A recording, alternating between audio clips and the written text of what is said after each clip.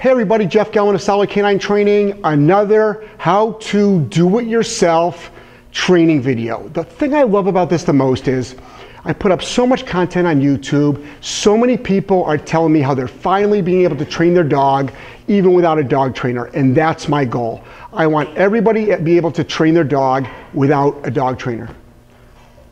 Hey, no Noche. Down. Nope. Down. Good. Okay.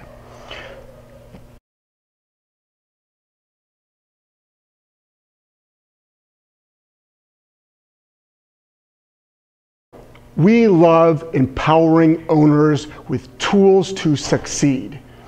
Every dog on my property is remote collar trained, and I've got lots of videos to talk about the remote collar.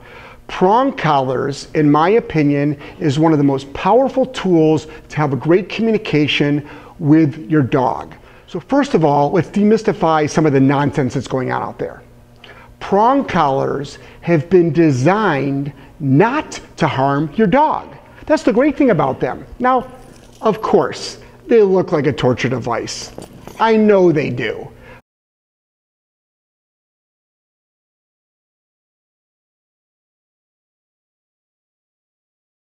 But they were designed not to harm your dog. It is a wonderful tool to communicate. Now, this is just going to be a how to pick the right prong collar and put the prong collar on your dog properly. My other videos talk about how to train your dog with a prong collar.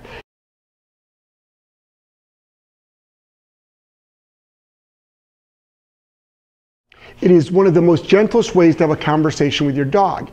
It's almost like power steering. Now, please let's keep in mind the collar doesn't train the dog.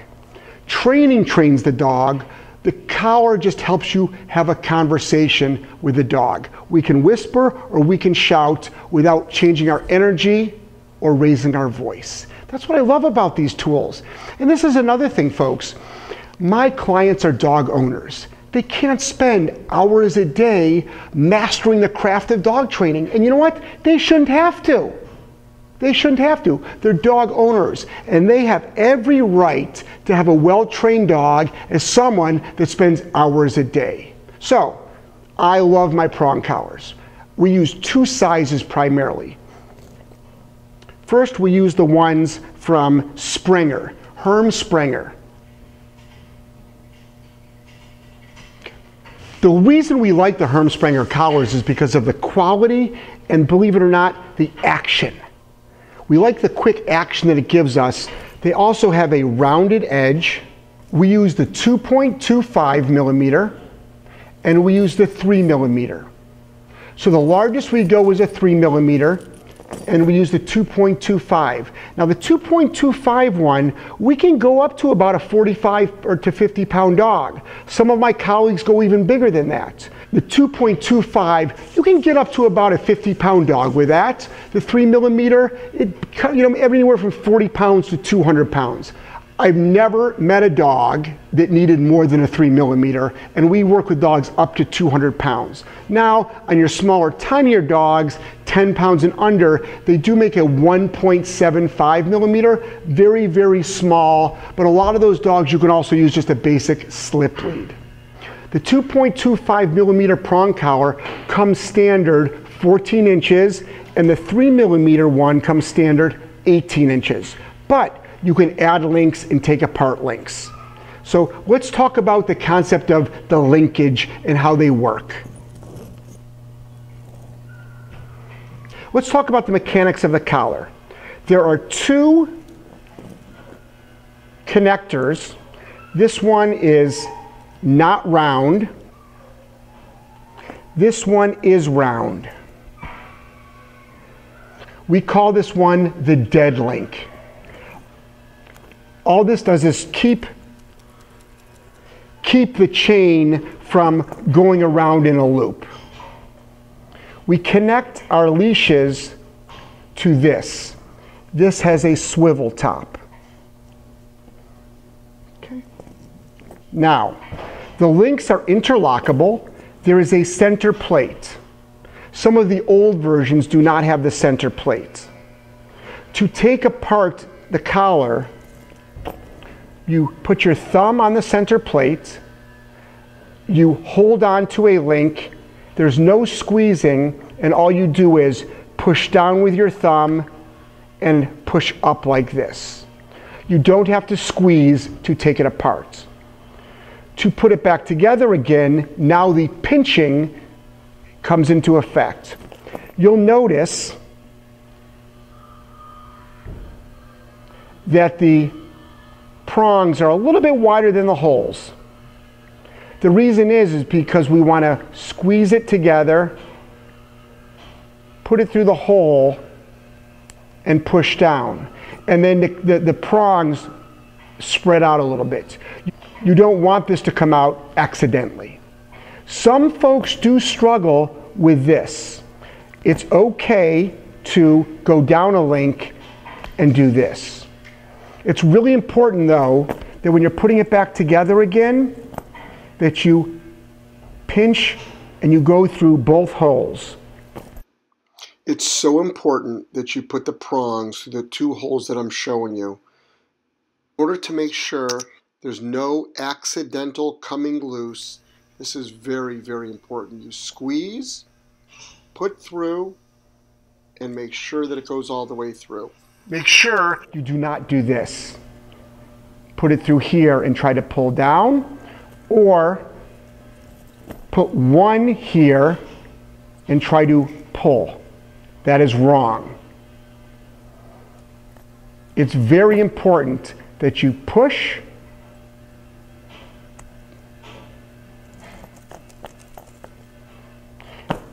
If the collar is too big, I could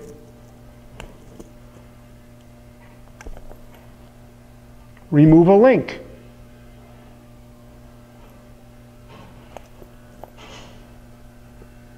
Remove another link.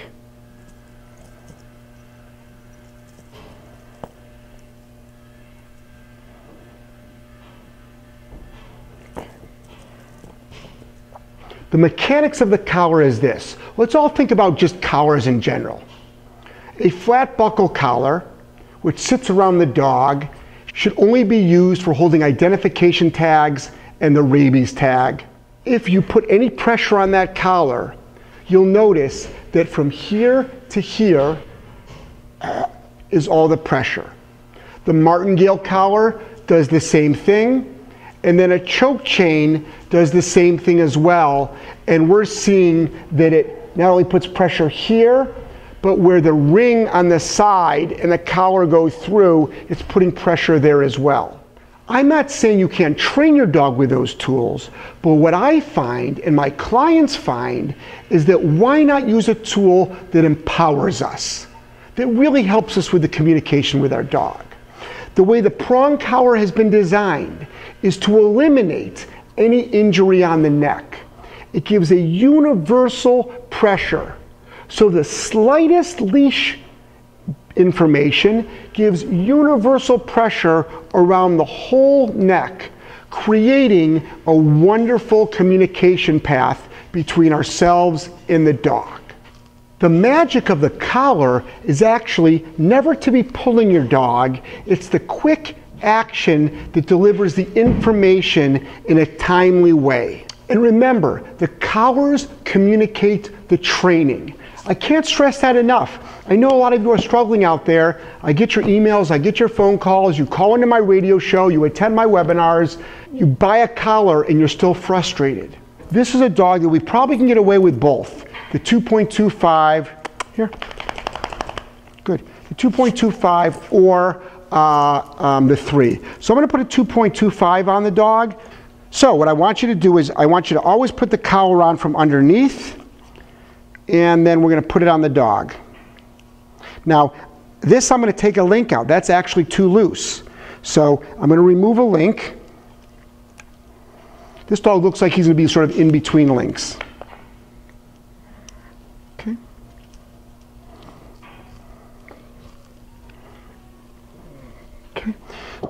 I walk dogs on the left. You don't have to walk your dog on the left. You can walk your dog on the left or the right. It doesn't matter to me. I just like to keep keep it consistent. All right? So, come on, silly pants. Good. Notice how the dead ring is touching the dog's neck, and the swivel ring is the ring that is outside. That will be the ring that is connected to the leash. So important you set the collar up in this way to optimize the mechanics of the collar. Notice how I've got the prong collar placed high on the neck behind the ears in a snug fashion. This is the perfect spot for the collar. So many folks add too many links and they've got the collar down way too low, which does not allow the dog and the handler to be given clear communication when working the dog. So this is the exact spot it should be in. Again, I'm showing where you would want to attach the leash to the swivel part of the prong collar and you attach it to it so you get a nice clean movement there. Notice how that's a nice clean movement and notice how the collar is snug on the dog's neck. And remember, these are not corrections. This is just information. You rarely have to actually correct a dog when you're utilizing a prong collar correctly. It's more of just giving your dog constant information when needed. We're really big on safety protocols. Um, with a lot of the dogs we work with being leash reactive, aggressive, leash pullers, jumpers, we want to make sure that we take every safety precaution for the equipment that we're using. So we're big fans of putting a backup system in place on the prong collar. Every once in a while, you hear about a prong collar um, coming undone. It could be uh, uh, human error. It could be the dog just shook his head a certain way, or maybe they um, they got it caught in something and you didn't notice. It could be equipment failure. So we're really big on backup systems. So, so I'm just going to use the dog's flat buckle collar. And on the collar, the, the prong collar, I want to be up nice and high like this. The flat buckle collar goes below it. Okay. Okay.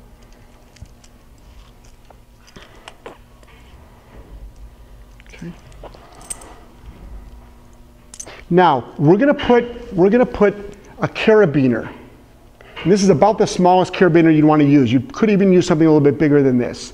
I'm to put a carabiner from the dead ring of the prong up to the D ring of the flat buckle collar. Okay, here, silly pants. Come on, come on. Good, good. Glad you're having so much fun. Come on, we're trying to make a video here. Take this stuff seriously. Come on. Huh? Give me some seriousness. Okay. Ready? So, remember, two rings, the dead ring,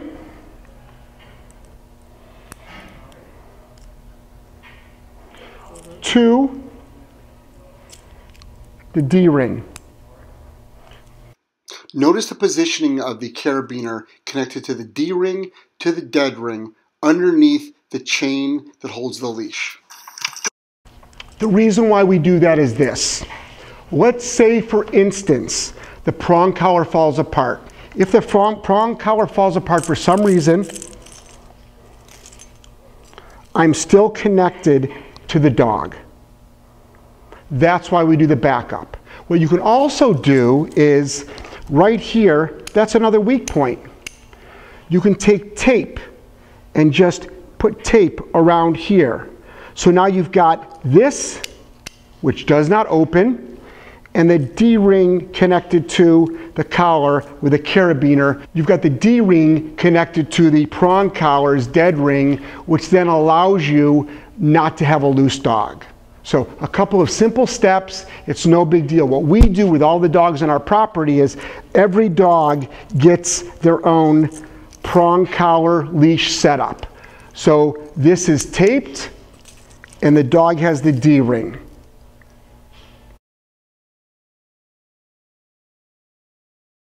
So when you're putting your prong collar on your dog, I want you to be in front of your dog.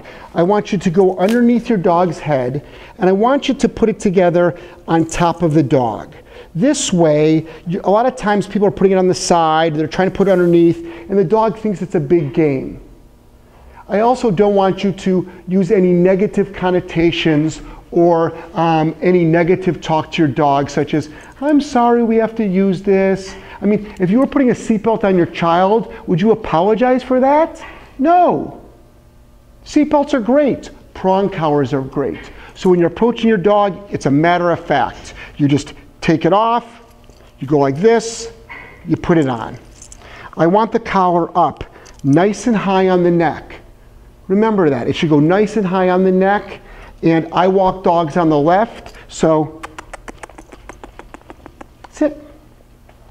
Good. So I've got the, the chain part coming out of the right side of the dog.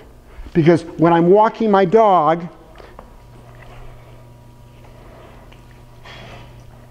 with this setup, with the collar up high, the chain part and the leash part coming out of the right side of the dog's neck, because I'm walking my dog on the left, now I'm set up to give my dog the proper information and have a wonderful conversation with my dog for the training. Jeff Gellman, Solid K9 Training, I'm madly in love with you. I love the fact that you keep looking for proper information, that you're actually spending the time to really do the dog training yourself.